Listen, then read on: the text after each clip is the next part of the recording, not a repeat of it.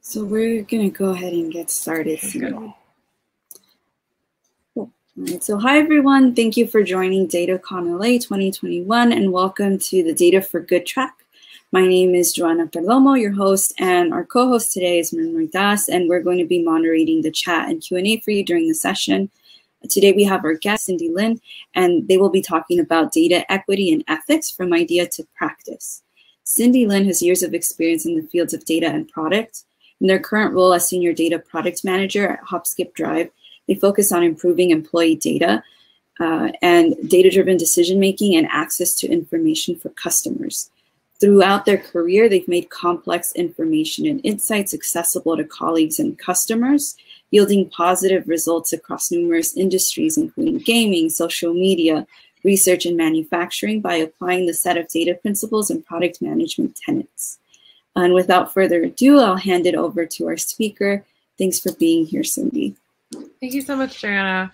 Um, yes, thank you everyone for joining us here today. I'm so excited to be part of DataCon LA um, and to be, be presenting. So um, as a, uh, you know, as we're talking about here, um, yes, first of all, hello, my name is Cindy Lin, Senior Data Product Manager at HopSkip Drive, and we're going to be talking about how we take the ideas behind data equity and ethics and put them into practice um, and why that's so powerful, um, not just to know something, but to actually do something about it um, and how we did it specifically at HopSkip Drive and some lessons that I've learned. So hopefully help you um, implement it at your organization.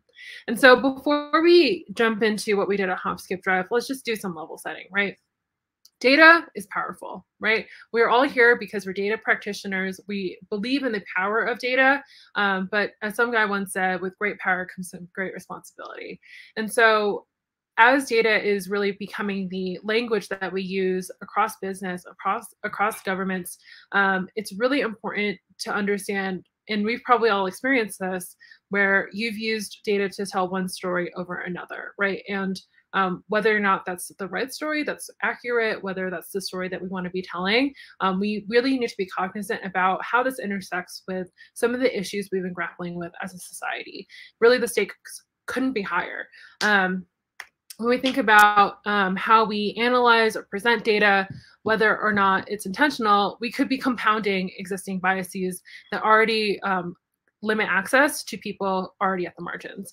Um, and so when we think about things like um, facial recognition software that is based on, um, that uses machine learning and data input by, um, and, and the data that's being input, how that affects the things like how accurate it is in recognizing different faces. Um, when we find out that it's more accurate at recognizing white faces than black ones, think about how that could have an impact when it comes to if that software is being used by police departments, right? Um, we could be arresting, leading to many more false arrests for those who are black versus those who are white, and just how that can compound existing societal issues um, for people of that background.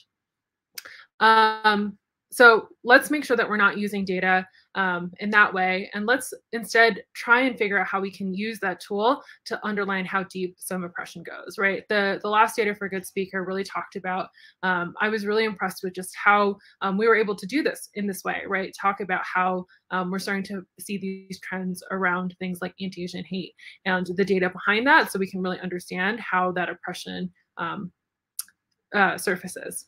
So um, so that's why we're talking about this, right? And so when it comes to the actual concepts of data ethics and data equity, um, I, I, wanted to just kind of outline what I think these these are um, based on uh, uh, things I found um, that I think really capture the the definitions pretty accurately. So for data ethics, um, this um, comes from HBS's online blog. It encompasses the moral obligations of gathering, protecting, and using personally identifiable information and how it affects individuals. It asks, is this the right thing to do? Can we do better? Right? So we want to be thinking about how we are um, we are doing the right thing when it comes to using data. And so the right thing I think can sometimes be ambiguous if you don't define it. And so I think that's where data equity um, adds another um, uh, add some additional detail and color to help us define what that right thing is to do. And so for data equity, um, I pulled this from data or uh, JL Consulting. Um, it refers to the consideration through an equity lens of how the ways in which data is collected, analyzed, interpreted, and distributed. It underscores marginalized communities' unequal opportunities to access data and at times their harms from data misuse. And so there's two things that I pulled from that definition that I really uh, wanted to call out, right? The first is all the different ways that data is analyzed or as data is used. We're talking about collection, analysis, analysis, interpretation, and distribution, and thinking about how um, the concepts that we're going to be talking about, how uh, and the issues that we're facing as a society, how they may present each one of those different stages of data use. Um, and then the second piece is just ta targeting who we're fighting for, who we're doing this for. We're talking about um, those that are marginalized and making sure that they are, we're not helping perpetuate existing societal gaps. And so why does this matter, right? Well, this matters because like I said, we're using data all the time to make decisions that will inevitably impact our users. And user bases are not monolithic, right? They are made up of diverse groups of individuals, and those individuals come from all different backgrounds. And so when you think about how certain issues affect people of a certain background, it probably will surface somehow in your user base. And so thinking about then how you accurately understand how you can effectively address those issues because you're able to define what those issues are, how the experience is for um, different people and different groups within your overall user base are experiencing the service that you're doing, the product that you're making, and understanding what is happening there and just making sure that you can minimize discrimination or again prevent perpetuation of existing societal gaps right so that's why this topic is so important and that's why you know I think there's a few different sessions at DataCon LA that talk about this topic in particular. And so the, the thing that I think I can add to this conversation is just how do we take these ideas and put them into practice? And so that's what we did at Hop Skip Drive. Um, we we um, had we understood that these things were important, but we didn't really have a way to integrate it into the things that we were already working on um, on a whole scale. Maybe individually, we were all kind of, um, some of us were more aware than others about how these issues affect one another, but we really want to be thoughtful about how it, how we um, roll this out across the company, right? So, um, and I really like this quote from Daisy Auger Dominguez, who just said, um, awareness without action means nothing, right? We can understand what these topics and what these issues mean overall, but we really need to do something about it. We need to take change our actions, change the way that we do things. Because if we don't do it, the people who are affected by this stuff is just going to continue to be affected. We want to be um, making sure that we're helping the helping those individuals, um, not not continuing on um, the way that things have been. And so, um, to set some context here about where where and how this is implemented, um, I think it's important to understand a little bit about HopSkip Drive. So if you don't know, HopSkip Drive is an LA-based technology startup. Um, we're focused on creating mobility for, uh, I'm sorry, creating opportunity for all through ability. Um, what this means is we're connecting riders, mainly students, that need transportation with our network of care drivers on our technology platform. We're working with schools, parents, government agencies to transport um, these individuals. And our rider population is actually made up of mostly um, rider or youth experiencing homelessness, um, youth in foster care, or youth with specialized education needs. So that's a large part of the um, rider base that we're serving. So you can kind of even start to imagine how some of these concepts may uh, may intersect with those user bases uh, or those individuals.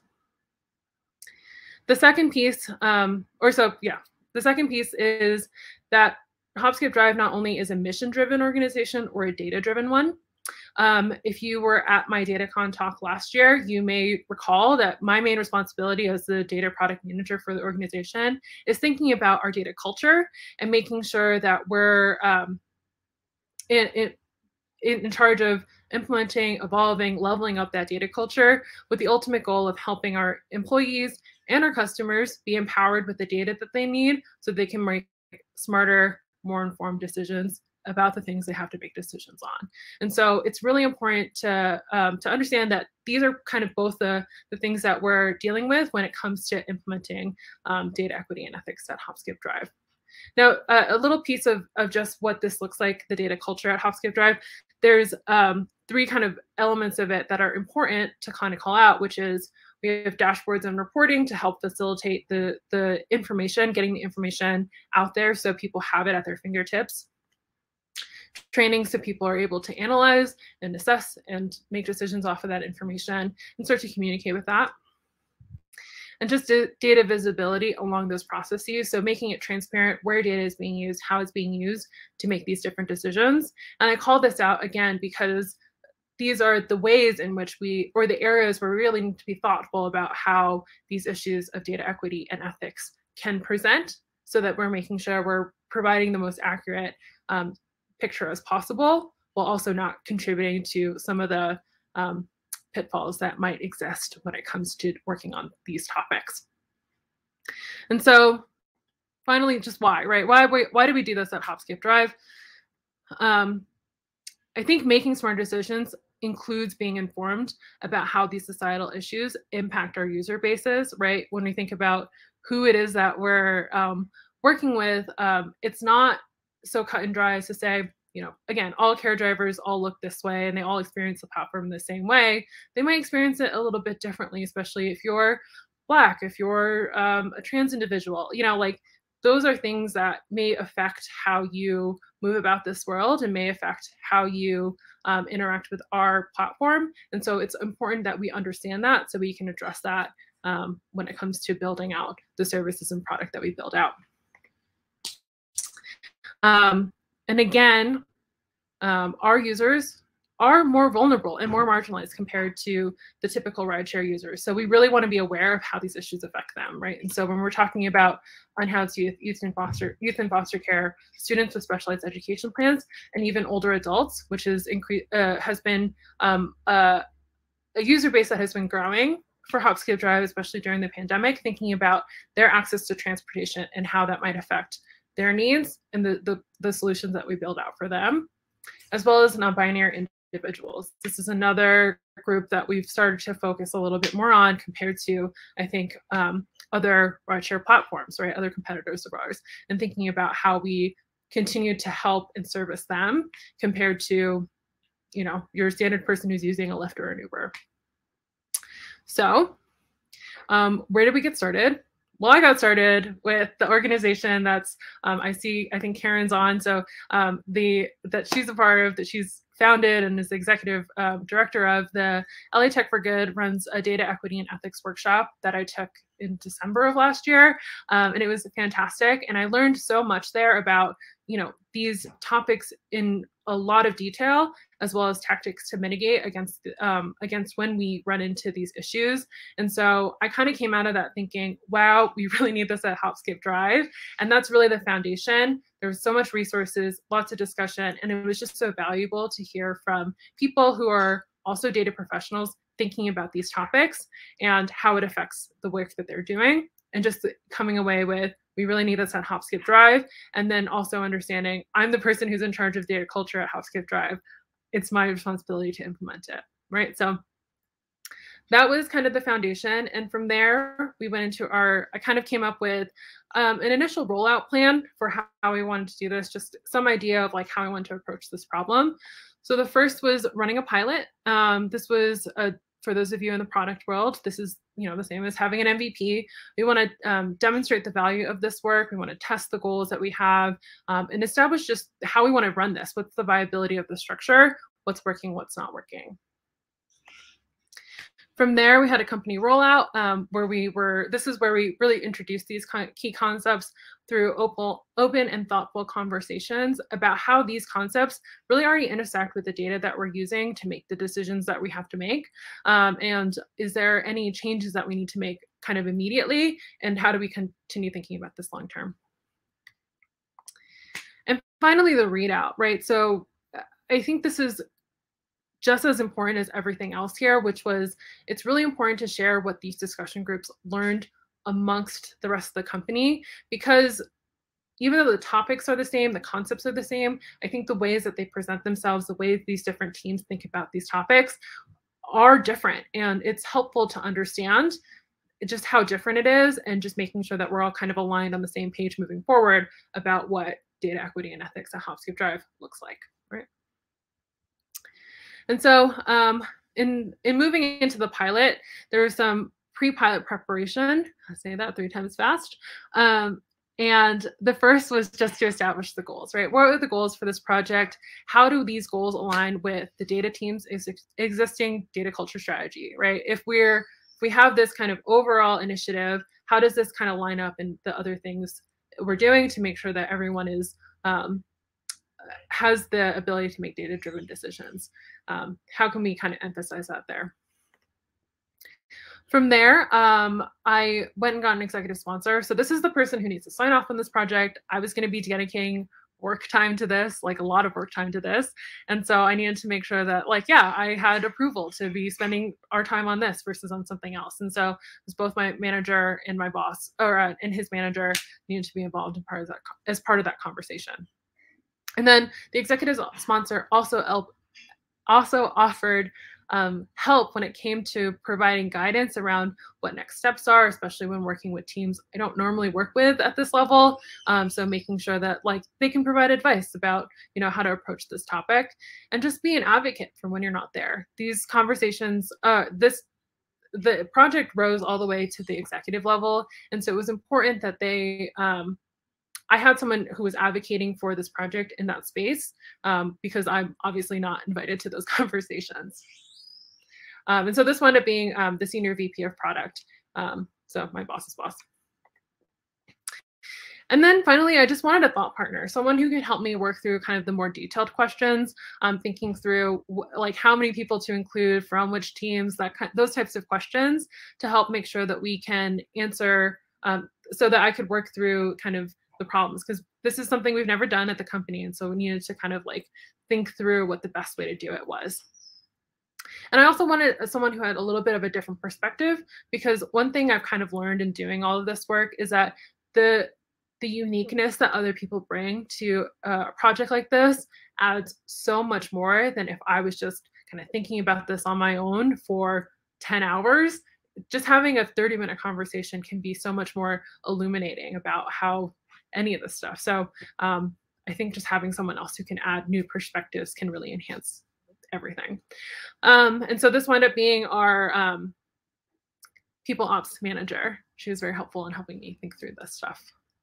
So moving into the goals, what did I establish as the goals for this project? So there's really four of them.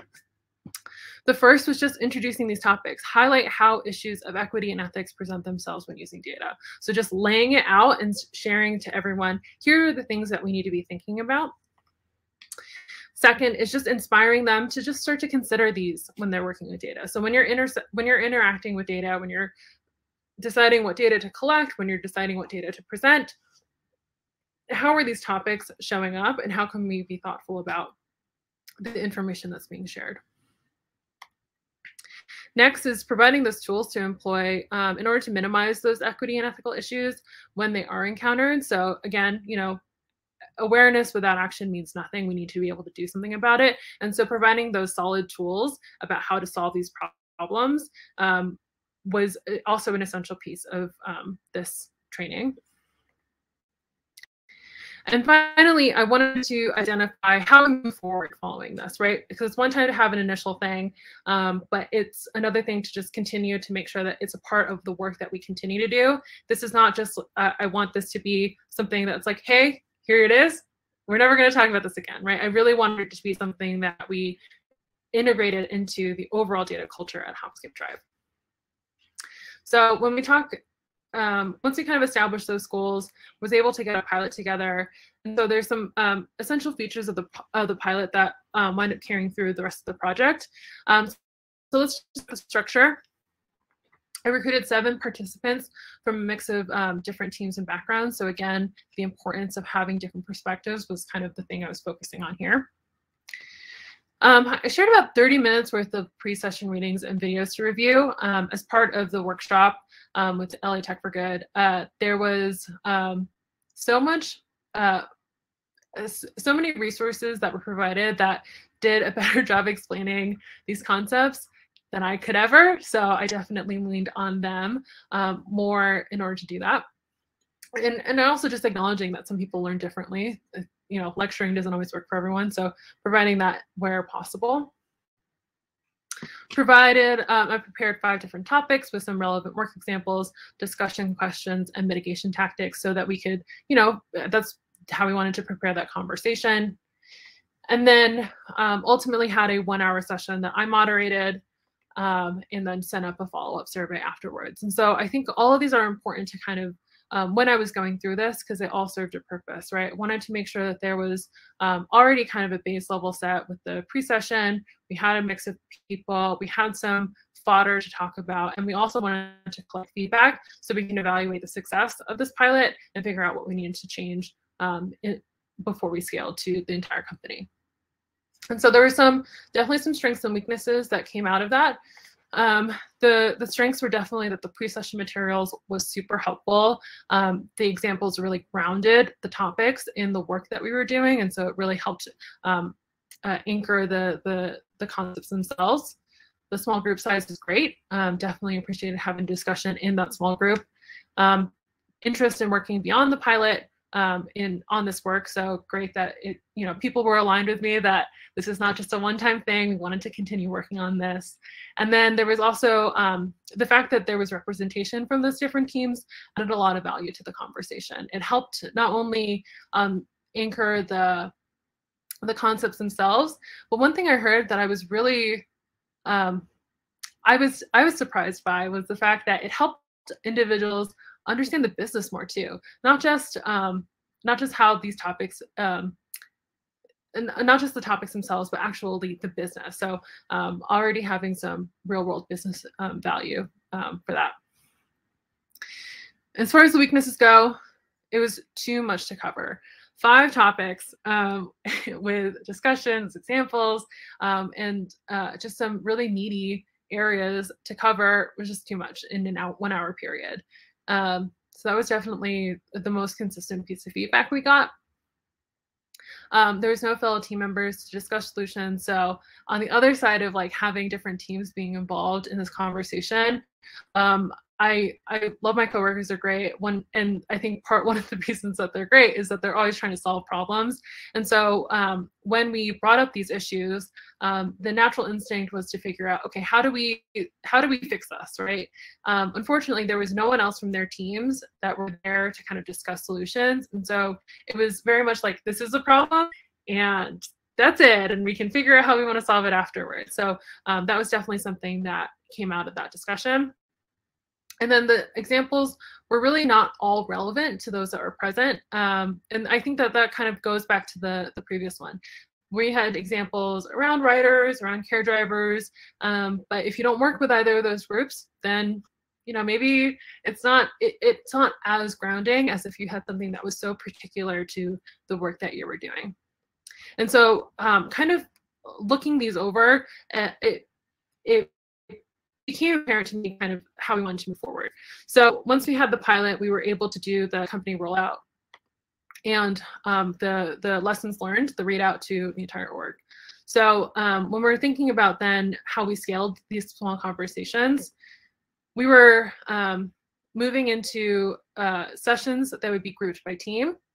Um, and it was one hour scheduled with the whole team. So um, obviously kind of thinking about that feedback about wanting to have the ability to solve these problems and having really particular examples to the work that you're doing, it just seemed like it made more sense to have these uh, sessions grouped by team.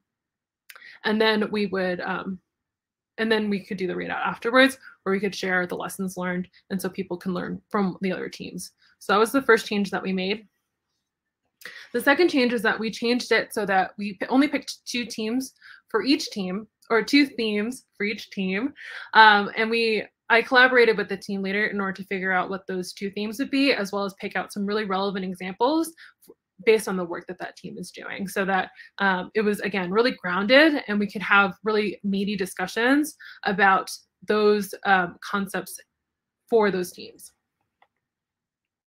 I would kick off each theme as the moderator, but would quickly then open up the floor for discussion um, and just record notes and action items. Um, I really wanted the teams to discuss and just kind of jump in um, where it was possible and maybe be the bad guy when um, uh, there were definitely some ideas that were a little more antiquated that came up. And so pushing back on those um, concepts and making sure that we were thoughtful about how we um, think about these things and how it, those some of those concepts might perpetuate some of those um, societal gaps that we were we already have um, and how we can move forward from those.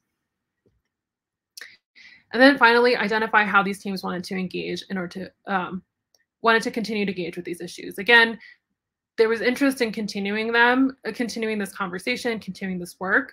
And so we wanted to make sure that there was, um, it made the most sense for the way that our um, company is structured, right?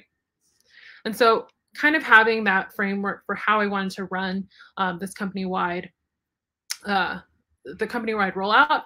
I then went to our leadership team um, in order to get their buy-in. So it was uh, important that you know I worked with those teams because oftentimes these were the team leaders I needed to collaborate with in order to pick out those topics that we wanted to talk about. And so that was really important. But also, you know, I was going to be taking up company time um, for everyone in the company um, and also taking up time to do the readout. So this is a really big initiative that we wanted to make sure everyone across the organization was really bought in on.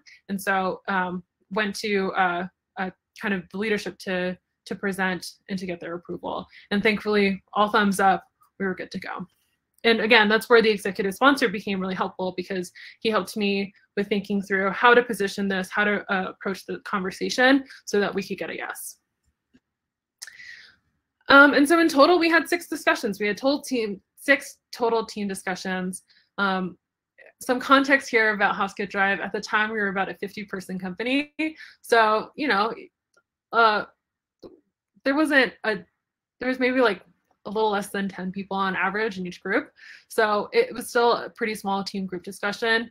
Um, and so we kind of had it by team. So you can see here, front engineering, marketing, sales, we had our marketplace, which is what we call our driver supply and balancing team, as well as legal put together, safety and support, and finance and people ops. So you can kind of see how these teams were organized in order to facilitate the conversation um, to be as best as possible. And so once we had these conversations, which I think were so tremendously valuable, um, and I was so lucky to be able to sit in on all of these um, and facilitate them, you know, I just wanted to share what all these teams had learned. And so um, we had already agreed that we would do this in a, a company-wide forum, but having reflected upon the actual discussions themselves, I'm so grateful that we um, had, a, you know, decided that we were going to do this from the outset to do this company-wide sharing. Um, and so what I asked from each discussion group was to have one person from each group um, come in and talk about the um, the discussion that they have, talk about uh, across these and using these um, three questions as kind of a framing device for asking for for kind of talking about the discussion. The first was talking about one or two examples about how those themes related to the work that the team does. Um, two, what were some of the concerns raised during that discussion? And three, what were the next steps that your team has identified as a result of the discussion, right? Anchoring what they had learned in the the work that they have to do, as well as raising some, uh, what are those concerns that were raised? You know, how are the, where are we in conflict and how did we resolve them and just figuring out how we want to move forward. Um, and demonstrating to, to all one of, there were definitely some concepts that um, came up across the different teams pretty consistently. So that was really interesting for me, again, to hear them talk about this, these concepts that were pretty consistent. And then having them kind of share that and seeing everyone um, and having everyone experience that same experience for themselves, right? Hearing um, these same topics around, um, sorry, uh, these same areas that we were working on and how one team might view it versus another so that we all can kind of see we all have these different perspectives and how that might be and where are we all coming from around this. So it was really great. So that was kind of the initial rollout. And so once we, you know, kind of finished off with the um, with that initial kickoff, it was important that we again figure out how we continue the work. And so um, what this has really turned into is a working group. Um, so following that initial kind of rollout across the company. We had a working group. We established a working group that meets monthly to really work on those action items that came out of those initial team discussions.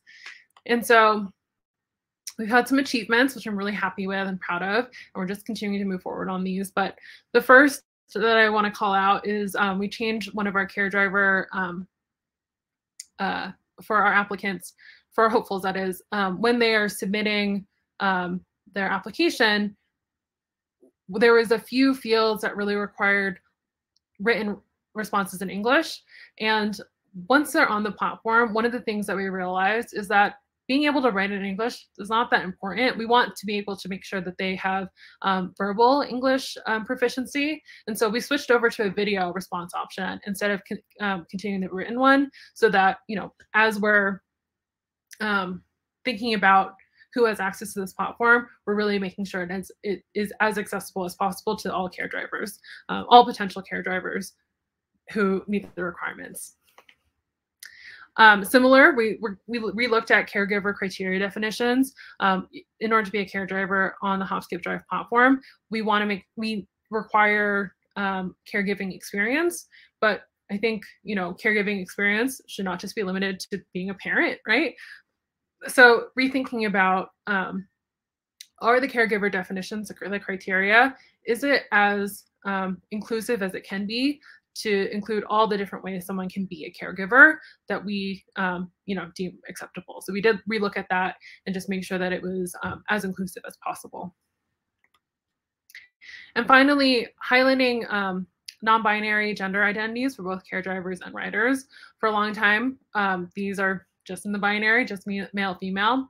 And so it was important to us too that we call out how we think about um, it, being inclusive and including non-binary um, gender options for both these different user groups because i mean it affirms them it provides a place for them to um, express themselves fully which um, especially when we think about our riders we want them to feel safe. There's been studies that show that um, youth under 18 who are affirmed by an adult are 50% less likely or sorry um, queer youth who are affirmed as an adult are 50% less likely to commit suicide um, or attempt suicide. So that was such a, you know, if we can be a part of that solution, wow, you know, how much value we can add to um, just making sure that there are so many beautiful humans in this world. So um, that was all um, a big part of it. And there's a lot of nuance here about how we approach these topics. There's a lot of research that we did, especially around our non-binary gender identities and making sure it was inclusive. But um, that was work that we um, was important to do. And then it was important for us to introduce these concepts to new employees. So sharing these concepts um, in data trainings, um, as if you Google HopSkip Drive, you'll see that we've grown pretty significantly. We've raised a new round, and so we're hiring like crazy. Um, and so we want to make sure that as new employees come on, they're also introduced to these topics. And then because they have little context for how this data is being used for their role once they start, we do a follow-up six months after they started to really cement these concepts and then also integrating them into um, more advanced data trainings where appropriate. So that's what we've done at HopSkip Drive. Um, I hope it inspires you to kind of think about how you might be implementing this at your organization.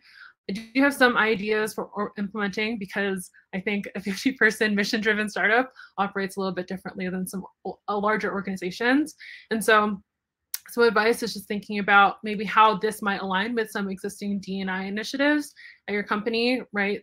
Most of the times I think D&I initiatives run um, more internally, but external is important as well. And so thinking about how you're uh, making sure that those initiatives um, not just carry across internal employees, but for your users.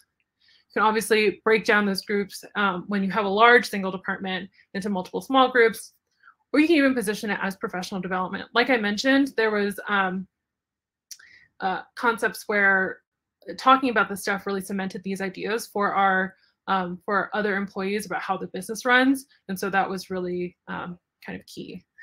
I'm running long. I'm almost done, I promise. Uh, and so to finish off, um, I just really want to plug again the data equity and ethics or the equ equity and ethics in data workshop run by LA Tech for Good. And then there's also a, a, panel session tomorrow that I highly recommend if this is of interest to you, just hearing how others kind of think about this and just um, how they've kind of implemented in practice. Um, so um, I would love to hear from you. Um, if you have barriers that exist um, for implementing them at your org, please definitely connect with me. I'm, I'm interested to hear how like the the different things are, are out there that people are experiencing. Um, I'm gonna go to the last word. We're hiring a data analyst at HopSkip Drive. So if you're interested, let me know. But um, we'll finish off with questions.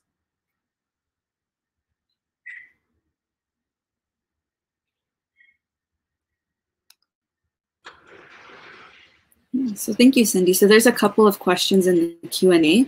So from Catherine, Catherine wants to know, what are some ways that you work on being informed on the societal issues that impact your user base?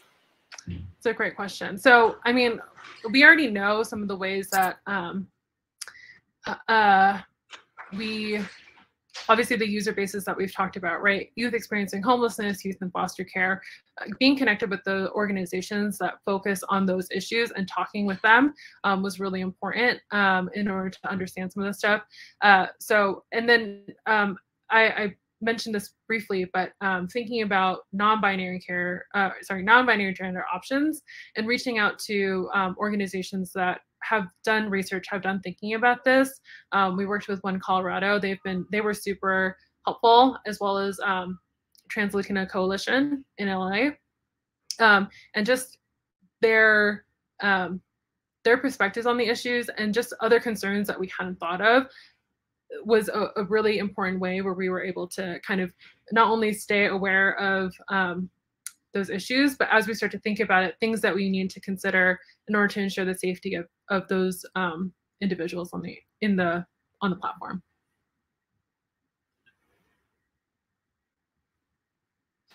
And then we have a more, um, I guess, practical question from Derek. So how are you able to follow up on action items after the initial session while balancing all the regular priorities employees face day to day? Yeah, so I think part of that was figuring out the right cadence for the um, for the working group. we initially planned it for it to be monthly, and um, the, so we ran the um, implementation in like the February March timeframe, um, and then things got busy. We're an organization that focuses on getting kids to school, and so this back to school has been kind of hectic. And so yeah, I think we have to be you know thoughtful about what we're asking of people to improve the the platform when we're just trying to survive. So the uh, not survive, that's an exaggeration, but we're just trying to make sure that like we can um, keep up with operations as they're rapidly changing and kids are going back to school. So um, you know, I, I as someone who is very kind of keyed into the priorities of the business, um, one thing that I just you know when it didn't make sense for us to meet, I just decided that it was not appropriate for us to meet. So this past month, we were supposed to meet, but we were all dealing with the operational challenges of going back to school. And so we just said, you know what, we'll take a pause on it this week. This week, this work continues, but you know, we need to make sure that like we can just make sure that kids can get to school. So I think it's it's a little bit of that. But I think the fact that the company is a mission driven organization in the first place does help a lot with that, with making sure that this is not only um, not seen as something that's not a part of the day-to-day uh, responsibilities of uh, the employees. And I think that that's something that connecting it with the larger data culture initiative, um, where it is everyone's responsibilities to be using data data for um, decision making, making sure that these concepts were also connected to that because that is just a piece of using data for um, decision making. So I think that that was a, a something I would emphasize there. And we only have a couple of minutes left. So I was wondering, Cindy, if you had any last words that you wanted to leave the audience with before we close out the session. Yeah, I think it's um, if you have the ability to um, so I'll say it can be really intimidating trying to obviously implement this across your org. If you don't have a role like mine where you have you're responsible for this area, at least try and figure out what you can do to to do um, to practice data equity and ethics in the data that you're in in your data practice yourself. And then, you know, definitely share that with the people who you're working with so that you can kind of um, expand the people who are thinking about these topics so that eventually, you know, if you do get into a position or you have enough people who are bought into this, you can convince whoever you need to convince that this is something that entire orgs need to be doing. And with that, we'll close off the session. So thank you so much, Cindy, for your presentation and for the questions from our attendees. You can contact the speaker directly, and Karen has also posted information in the chat if you're interested in learning more about LA Tech for Good. Uh, and please provide your feedback using the form in the chat box that we'll drop in momentarily. Uh, thank you again, and enjoy the rest of your time at DataCon LA. Thank you, everyone. I really appreciate your attendance. All right. Thank you. See ya. Bye. Bye.